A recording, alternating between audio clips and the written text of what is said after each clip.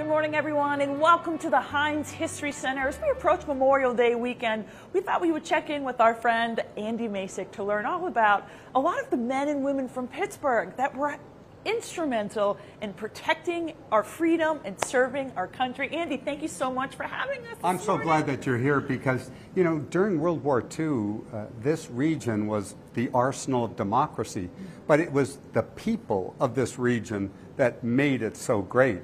And one of the innovations that came out of World War II that came from Western Pennsylvania is the Jeeps. Jeep. Yeah, who knew? I, exactly. I feel like a lot of people don't know that. Well, the War Department put out an RFP, a request for proposals, right before the war, and they said, we need a vehicle that will replace the horse on the battlefield. Has to go any place a horse can go, has to climb a 30 degree grade, uh, and it can't weigh any more than a big horse.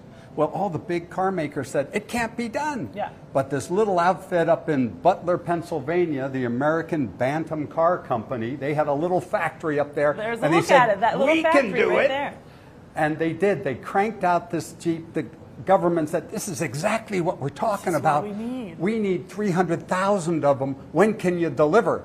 Well, this little outfit up in Butler couldn't produce that kind of quantity. Uh, They had never made more than 500 vehicles in a year's time in the history of their company. Wow. So the government pulled the contract, gave it to uh, Willys Overland of Toledo, Ohio, and then Ford had to make more Jeeps for the war. But it all started right here in western Pennsylvania. You know, it's not just the Jeep that started here No, in Western Pennsylvania. you know- also, the Tuskegee Airmen, which is something I feel like we hear a lot about, but maybe everyone doesn't know the details of the A history. lot of people don't know that at the beginning of World War II, there were only 124 black pilots in America, the whole country. Wow. Well, they trained Tuskegee Airmen, black uh, uh, young men, uh, most of them from Pittsburgh. Uh, Pittsburgh area provided more of these fighter pilots and medium bomber pilots than any other part of the country. They were brilliant. They trained a thousand of them, and it was a game changer. These guys won more unit citations than anyone, and 84 of them were killed in action. 84 of the 992 Tuskegee Airmen were killed in action.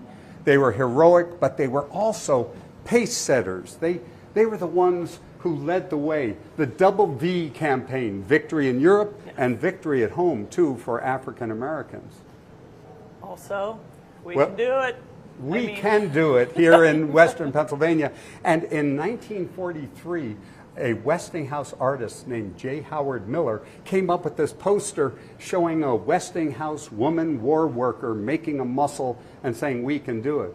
Well, 50,000 women took the place of men in the factories in Pittsburgh and Pennsylvania. Right? We needed people to get back to work. That's Who's going to do it? The women are going to do it. The women did it, and you know everybody pitched in. The kids were picking up scrap metal. Uh, there were victory gardens being planted to supplement the food supply. But these women, who, well, they didn't call them Rosie the Riveter at first. oh, No, they just called them women war workers. Yeah. But a song came out in 1943. All the day long, whether rain or shine, she's a part of the assembly line. She's making history, working for victory. Rosie the Riveter. Well, the We people of. America heard that song and they said, you know what, that's Rosie the Riveter. So it's serendipitous that the song and the poster came out at the same came time. together. Well, you can learn about this and so much more at the History Center. Thank you so much, Andy. We really appreciate you, and we thank you so much for celebrating and honoring the men and women who have served our country, especially ones from Pittsburgh. I think that's the right way to think of it, honoring the men and women who've served. Yes, amen. Thanks so much. Guys, what did you think? We need to work on our Rosie the Riveter song. I haven't really practiced that one yet. No, I thought that was It good. was good, yeah. I can Yeah, always count love on it. Andy to break out into song and dance. I know. We were hoping he would sing the Rosie the Riveter song, Yeah. And he did. We love that. We also We love got it. his Your wish came passion true. for the history. Like, really, mm-hmm. it makes all of us excited and to learn the Pittsburgh connections. Thanks, Kaite. Thanks, Kaite.